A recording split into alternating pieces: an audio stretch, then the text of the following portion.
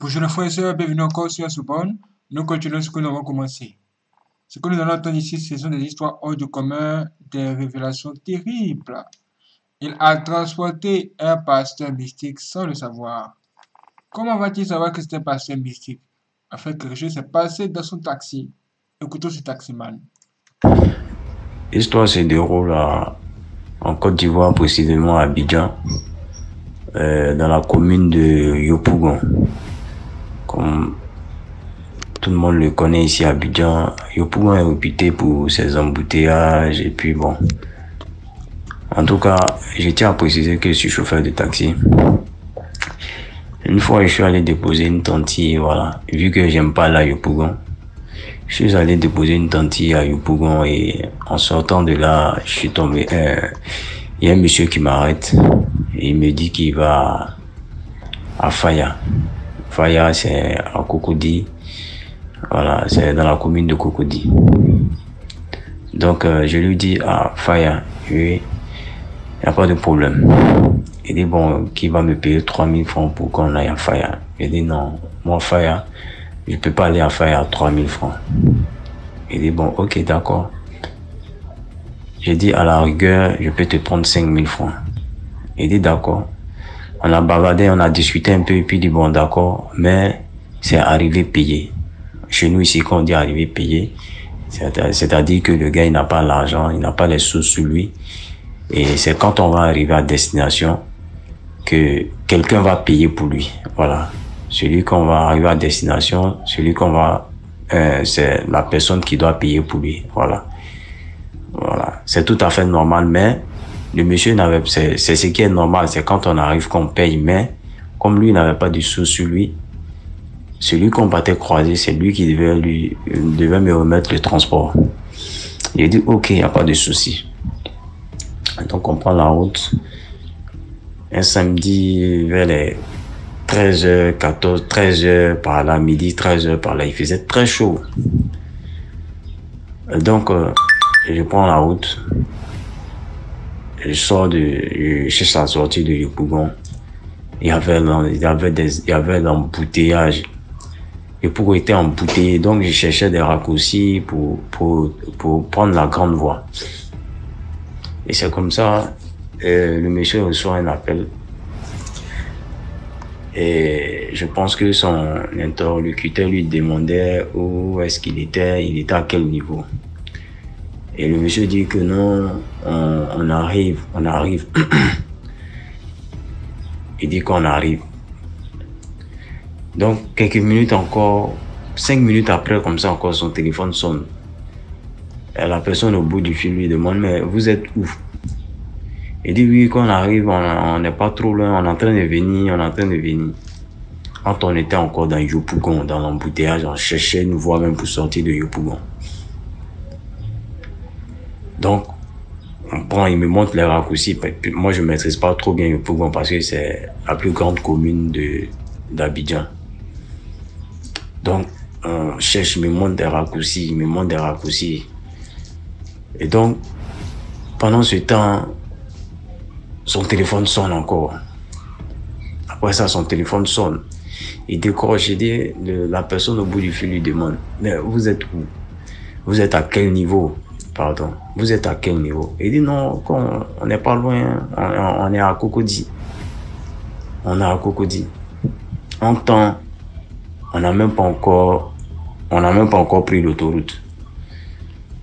Donc, dans l'embouteillage, euh, on était en train de chercher la route et puis bon. Il dit quelques minutes encore, son téléphone a commencé à sonner. Donc le monsieur même lui-même, il a commencé à se fâcher d'une manière parce qu'on l'appelait trop. Donc ce qui a fait que son, téléphone s'est déchargé. Son téléphone a commencé à se décharger.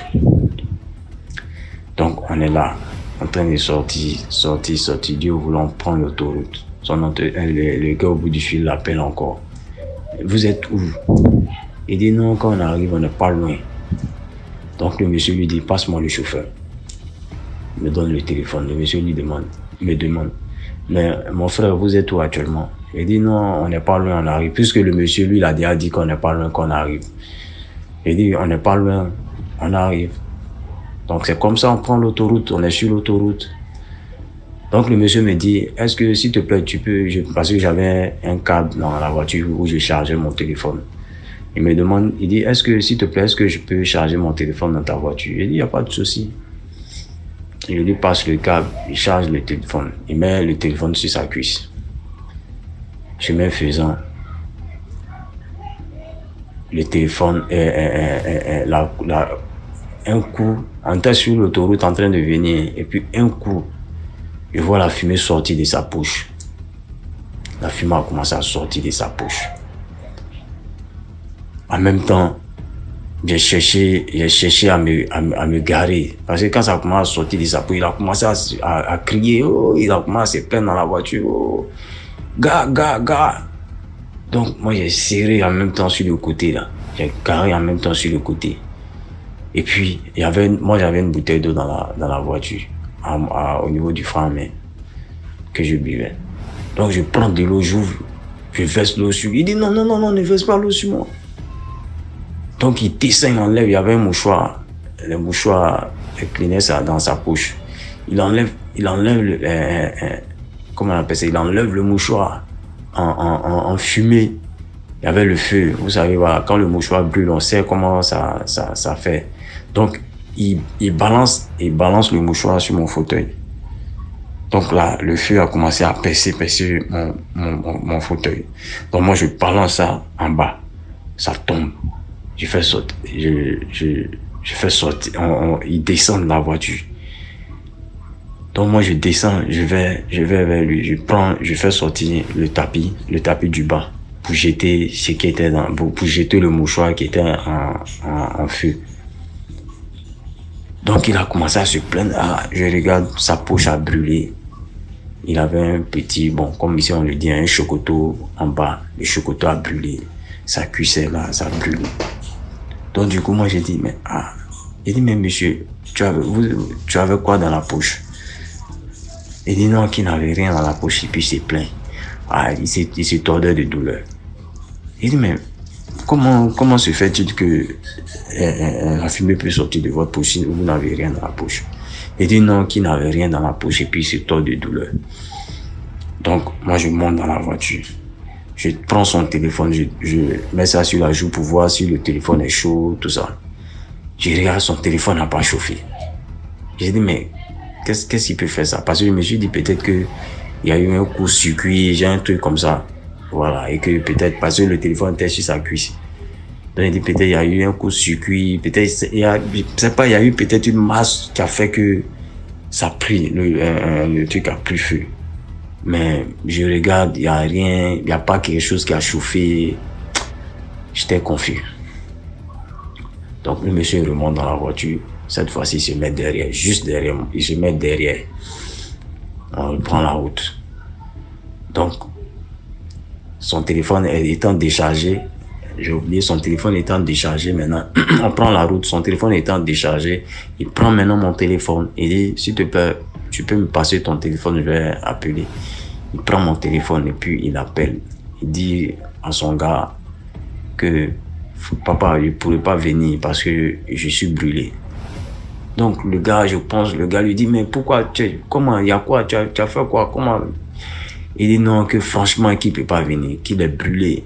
Mais le gars insistait pour qu'il vienne. Le gars insistait. Il dit non, mais fais, fais tout, tu vas venir parce qu'actuellement là, c'est toi que j'attends. Donc il dit, mais passe-moi le chauffeur. Le gars me passe le téléphone.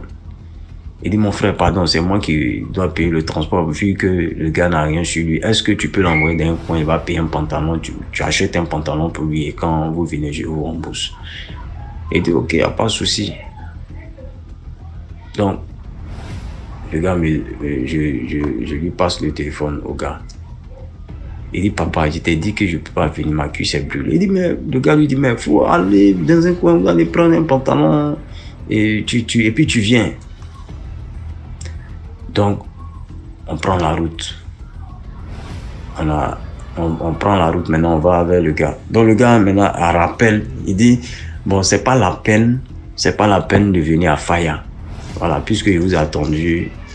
Euh, bien avant ça, pardon, le gars me dit, Le gars me dit, bon, euh, monsieur, je vous donne, si tu peux arriver ici en moins de 10 minutes, 20 minutes, 10 minutes comme ça, je vais augmenter ton, j'augmente le tarif.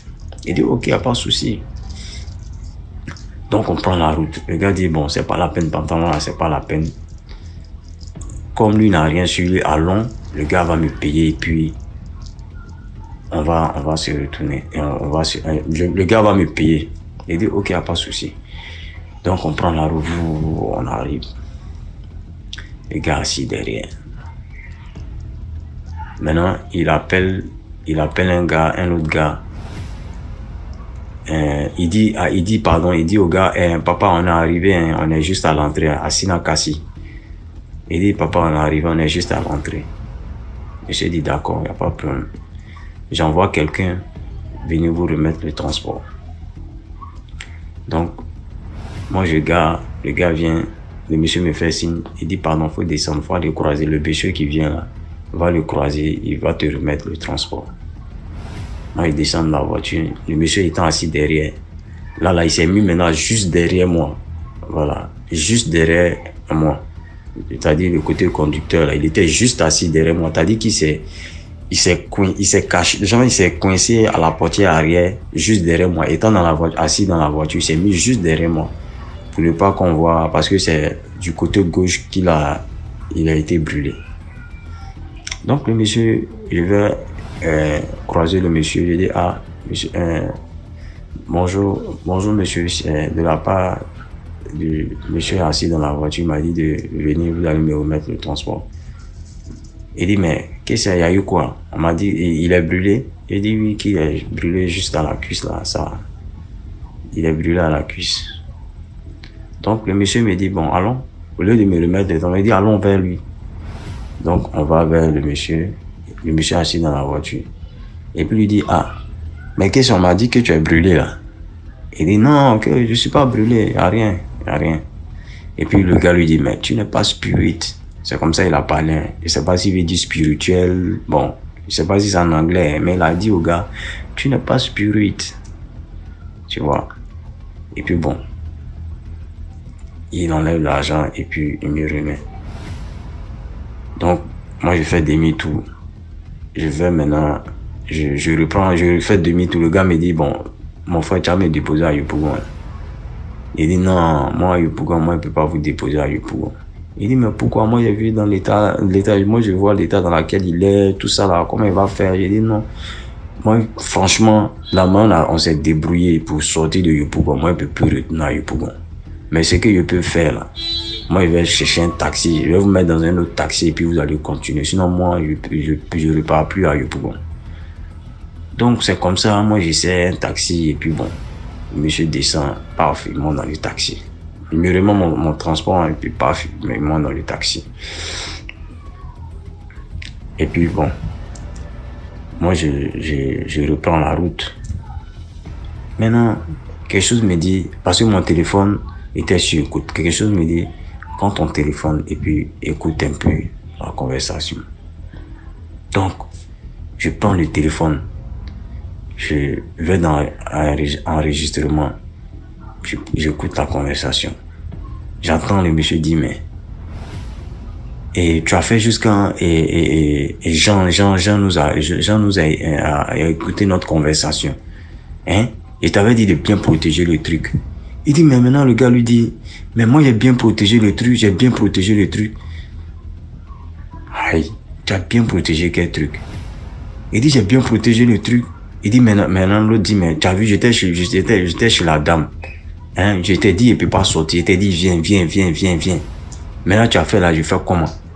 Et puis tu as fait jusqu'à Jean à écouter nos Maintenant l'autre lui dit mais moi je savais pas, moi je peux pas savoir que, que tu, avais quelqu'un à côté de toi. Il savait pas.